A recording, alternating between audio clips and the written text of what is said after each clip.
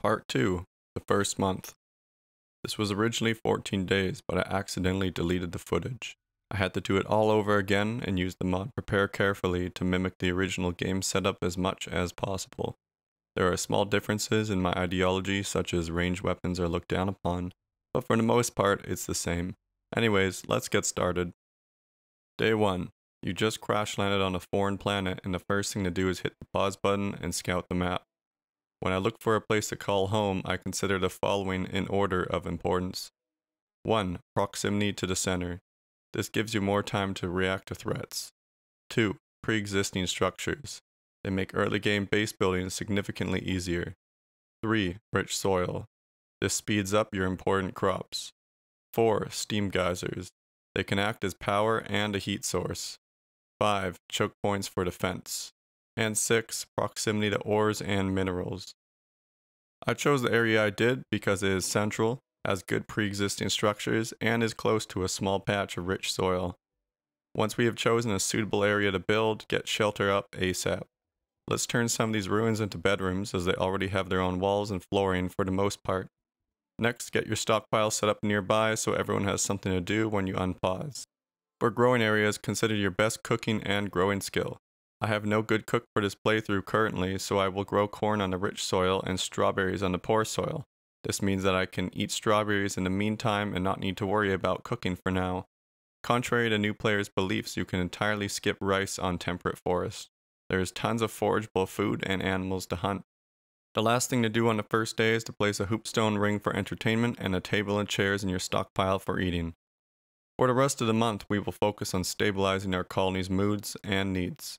Growing cotton and smoke leaf are the next two crops to go for.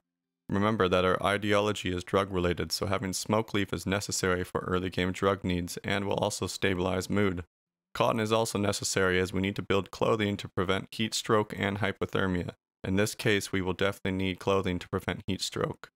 We can also sell smoke leaf joints for a silver source. Stone cutting is our next priority. We want a fireproof, nice looking shelter. The less stuff we build with wood now, the less we need to replace later on. Follow this up with a research bench if you have any pressing things you want to learn or you have a colonist that always has extra time on their hands. After this, we have power. Power is needed for so many things. When you have an abundance of wood, a wood-fired generator is a great choice. It is my only choice here as I have low construction skill. It generates enough power for a freezer, a few lights, and a workbench or two. Make sure to light all your indoor areas where colonists consistently walk around or work at. Work speed is reduced significantly in the dark. This is more of a preference, but getting a prisoner cell up right away means that you are ready to collect prisoners and slaves when the first raids hit. Do not worry about the early game raids on Adventure Story difficulty. If you chose two colonists that are half decent at melee, they can almost always win the fights, even when barehanded. If you use blunt weapons to take down enemies, you can capture them after and turn them into cheap workforce or sell them to traders for silver. A perimeter wall is necessary to prevent headache from manhunting animals. If all your colonists just survived a raid and a manhunting boomalope comes knocking, you will be glad to have this barrier between you and the wild. It also acts to keep your tamed animals from being hunted. Make sure to travel to trade. Even early game, it can be very lucrative. I had two people crash onto my planet unable to walk, which made them useless. I could wait the 30 days for them to recover, but that is currently a waste of resources. Instead, I sent out one of my colonists to a nearby settlement to sell them. You don't need good food for early game caravans, just bring some berries along and you will be fine. A sleeping bag is also a good idea, but not necessary for small trips. I had a trader come by and a group of ducks joined near the same time. They also had some animals to sell. When I buy animals, I usually only buy them if they produce a product and can buy male and females. This allows you to supplement your diet and eat the excess offspring. Some animals like cats and dogs have a different usage where they give a nuzzle bonus twice or so a day which increases colonist mood.